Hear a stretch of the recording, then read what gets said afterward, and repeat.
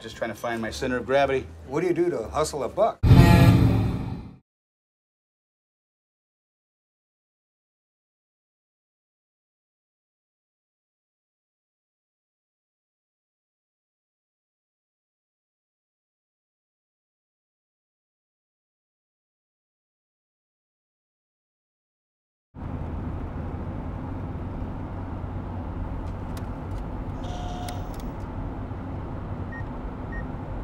Apple. Pomme. Pomme. Je mange la pomme rouge. Je mange la pomme rouge. Nous avons mangé les pommes rouges. Nous avons les pommes rouges. Can I get you anything? Anything? That's kind of a dangerous question, isn't it? Actually, I'm just waiting for someone, thank you. And I see him now.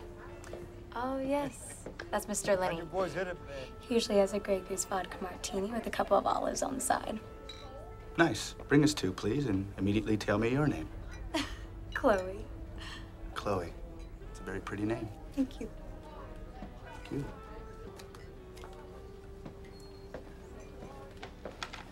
Alan, good to see you again. Uh, Alec. Alec, Alec, I'm so, so, so sorry. I hope I didn't keep you waiting long. Oh, I've just been here a few minutes. Oh, that's good. That's good. Thank you. Been uh, enjoying the view. All of them. This is quite a watering hole. Well, it comes wrapped in a very nice package, but the big red bow is pretty expensive. Well, isn't that always the case? I uh, left messages for you at the number you gave me, and uh, I followed through and tried to find you on the company line. I hope you don't mind. I'm glad you did that. You know, it's a bold move on your part to come all the way out here. You took a big leap of faith. I like that. It shows determination. Thank you. I figure if a position doesn't happen in your company, I can uh, get a job here caddying. Just like you like, Mr. Linney. Thank you. Chloe's father runs the club here. I suspect that he's grooming her to take over one day. Excellent. I'll check on you both later. Thank you. Watch it now there, Alec. I think of her as if she were my daughter. In that case, I will treat her with the utmost respect. To you, Mr. Linney. I thought I saw you sitting over here. Darling, let me introduce you to Alec Foster. Now, he's the young man that I told you about that I met on my last Shreveport trip. My pleasure to meet you.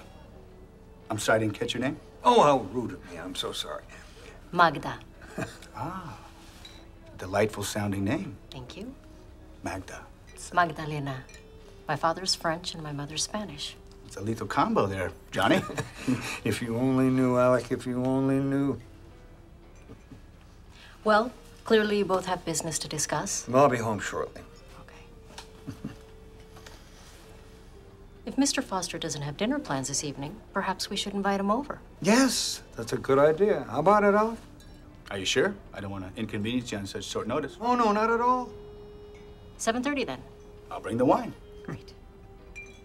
See you then. He can be a walking refrigerator, that one.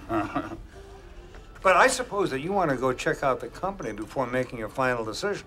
Well, sir, I didn't leap of faith all the way over here to say no. Well, when can you start? Well, as far as I'm concerned, I already have. Drink to that. Cheers.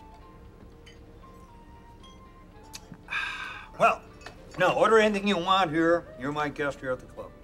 Appreciate it. Thank you, Mr. Linney.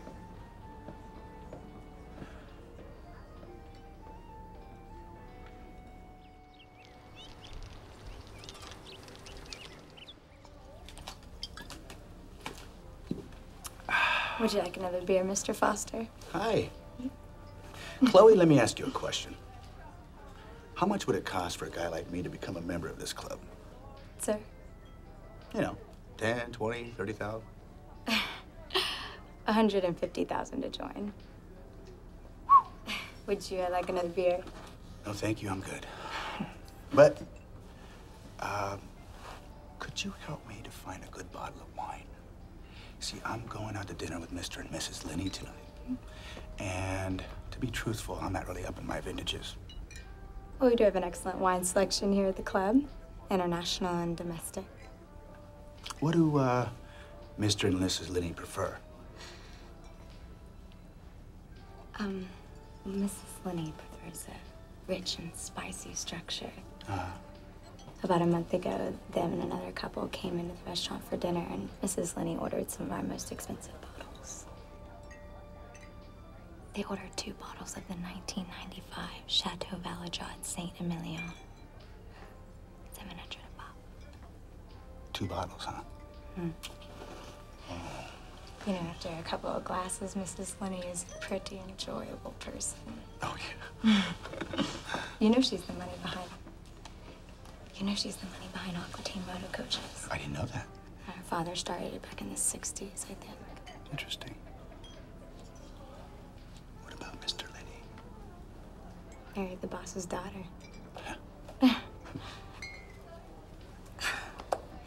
know, I shouldn't be talking about our members. They kind of pay for privacy on top of everything else. I understand. Hey, sorry, I didn't want to put you in a situation. I'm just trying to impress the man here. Mm. So this is what I'm gonna do. I am gonna get two of Mrs. Linney's favorite bottles from here. I, um, you know what? After all the traveling I've been doing lately, I, I kind of put a big dent in this card. Perhaps a bottle that isn't so expensive then. No, no, no. I can figure this out. See, I mean, there's nothing like kissing up to the boss's wife, you know. Well, I'll tell you what. I'll give you a bottle that you can take with you, and um, I'll put it on my personal tab. You do that for me? Hmm. I can't let you do that. No, no, no. I just couldn't let you No, do that. it's okay. It's Really? okay. But look, you have to give me a chance to make it up to you, though, okay? With interest. The interest being you go to dinner with me.